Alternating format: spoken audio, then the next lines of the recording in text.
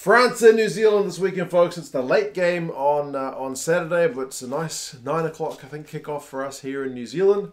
Uh, rank six against rank two in the world. This one's been built up for quite some time, and especially because it is almost like a mini preview of one of the pool games that we will see at the Rugby World Cup in a couple of years' time. So there is a lot of excitement building about this one. We'll go through the squad, some of the recent history, uh, the stats, predictions, and you guys can let me know your thoughts. In terms of their autumn campaigns, I don't think the fans of either side will be totally satisfied. Obviously, uh, New Zealand blew a kind of understrength Welsh Welsh side across off off the park uh, three weeks ago, 54-16, uh, and then kind of a much changed side struggled a wee bit uh, against Italy. I mean, 47-9 still pretty comfortable, but they beat Italy by less than what they beat Wales, which is unusual uh, in the scheme of things, and then a, uh, a loss 29-20 against Ireland, which could have been worse, was maybe uh, maybe a, a, much needed wake up call for the All Blacks and their coaching staff. Um, but either way, it was uh, it was a loss that could have been even more. Uh, for France, they've had two victories 29 20 over uh, Argentina and then 41 15 over Georgia. I kind of likened the win over Georgia to New Zealand's win over Italy, and that it wasn't kind of all that convincing, even if the scoreboard looks, you know, looks pretty enough. Um, France have been kind of trying some new combos, uh, so maybe that's part of the reason. But they've settled things down a bit for this game. But um, yeah, we'll kind of see how things go. Remember, France are on a six-day turnaround because they played uh, on the Sunday, whereas New Zealand played on the Saturday. So in theory uh, the French guys may be having tired legs slightly towards the final 10 minutes, but we will kind of have to wait and see if that has any effect. Uh, the front row is Baille Mauvaka and Atonio. That's the same front row as last week, except for the fact that Mauvaka has to start. He scored a couple of tries last week against the Georgians. Um, but yeah, uh, is the main guy, and he's out with a rib injury. So it's kind of unfortunate news uh, for France, but Mauvaka is no slouch, so he's uh, definitely a good replacement. Woki and Willemse are the locking duo. Now, Woki, from my experience of watching him, is generally a loosie, but he played lock last week and did a pretty solid job. Very good uh, guy in the air, although he wasn't the main guy winning the aerial ball last week. He certainly runs the French line out, and uh, is a big, solid unit of a man. So, um, yeah, there's a bit of size and skill between the two of those guys.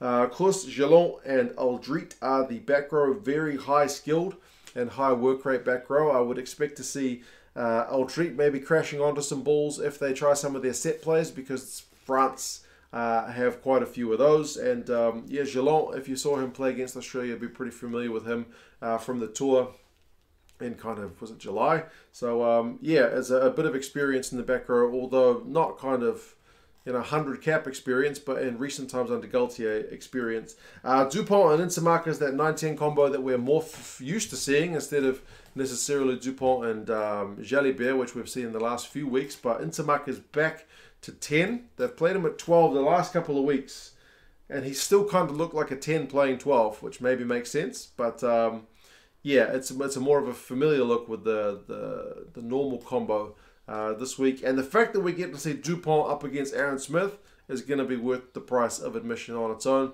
Two of the guys kind of rated as the um, you know, the two best halfbacks in the world. There are others, but certainly both these guys are very good. Uh, the midfield is Danty and Fickou.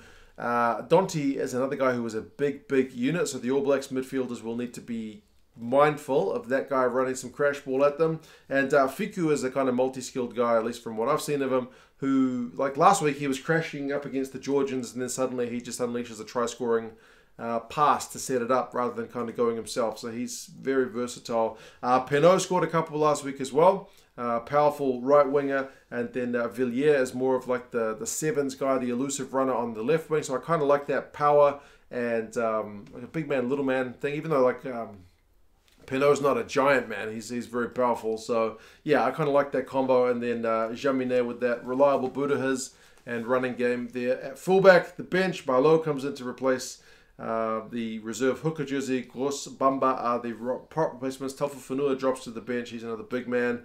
Uh, Flament, who's only had two caps now, uh, is the um, the lock replacement alongside Taofifenua So it's two locks. And then Cretin is another loose forward replacement. So Lucu and Jalibert the two back replacements. So it's a 6 2 split for the French.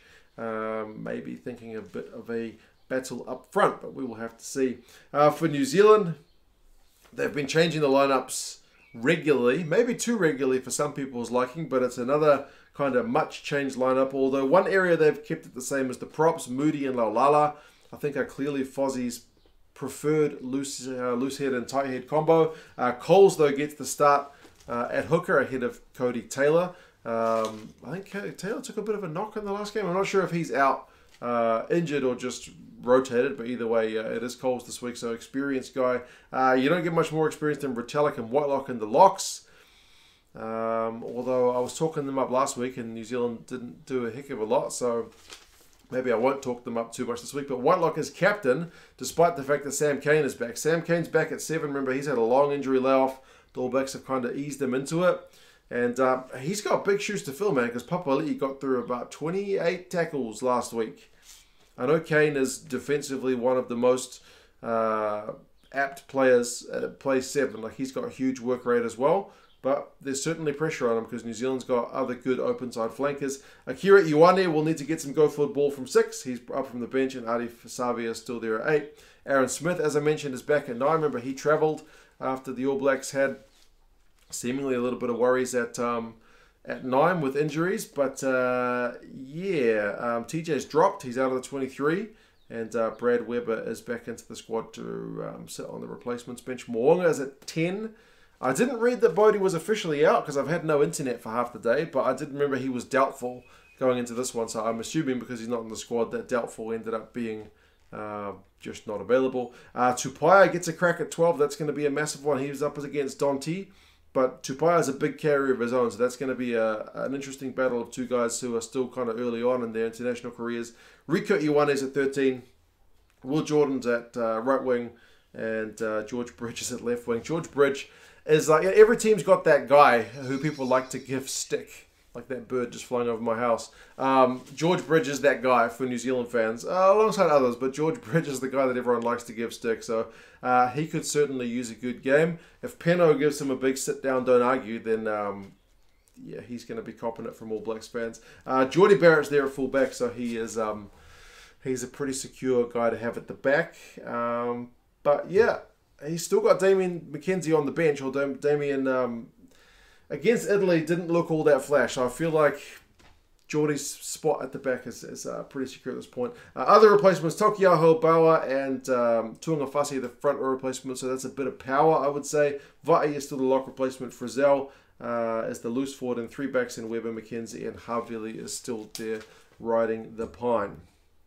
Um, France haven't beaten New Zealand for a while. I think 2009 is the last time they've beaten New Zealand, which seems like a lifetime ago, if that is correct. I could be wrong, but I think when I looked it up, it was 2009.